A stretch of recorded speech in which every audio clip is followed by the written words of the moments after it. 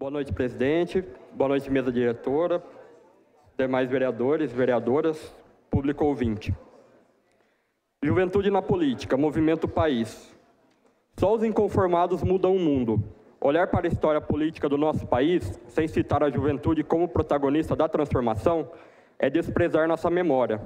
Se hoje nossos pensamentos ganham as redes sociais, sem a censura do Estado, é por conta do sangue de uma juventude inconformada, que lutou e que resistiu à ditadura civil-militar, que tirou a voz e cultura, a vivacidade de sua juventude, por conta de um conservadorismo político-social que tentou conter a diversidade da nossa juventude, restringindo direitos e impedindo a luta por democracia. Depois do processo de redemocratização, a juventude continuou a revolucionar o Brasil. Faz parte de nós a inquietação. É da gente essa necessidade de mudança. Como reforça a música Até Quando, do cantor Gabriel Pensador, muda que quando a gente muda, o mundo muda com a gente.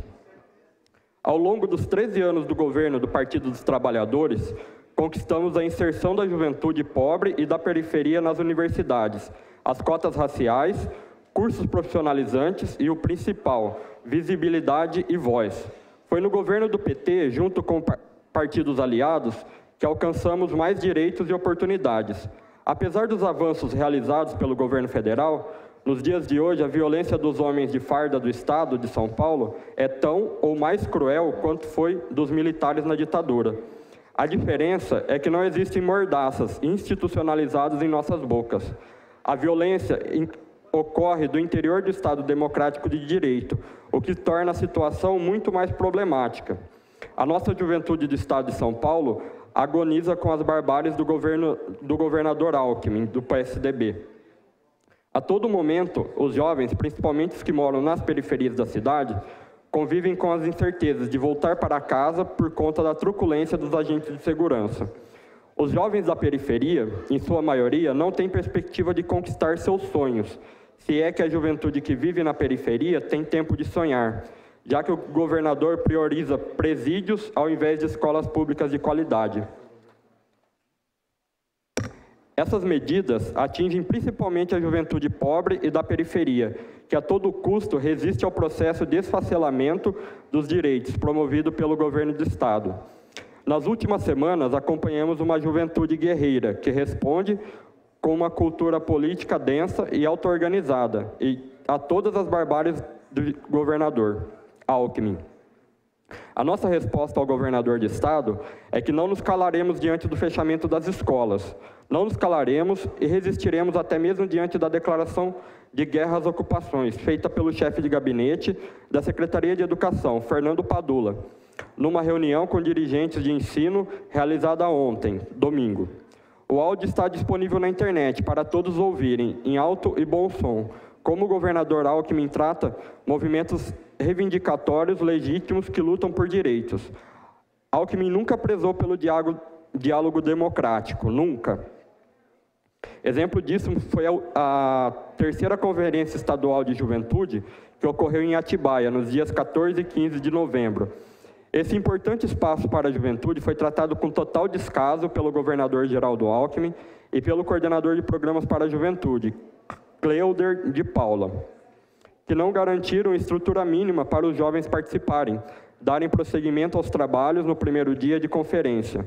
Para além disso, não consideraram uma importante discussão da acessibilidade e inclusão das pessoas com deficiência.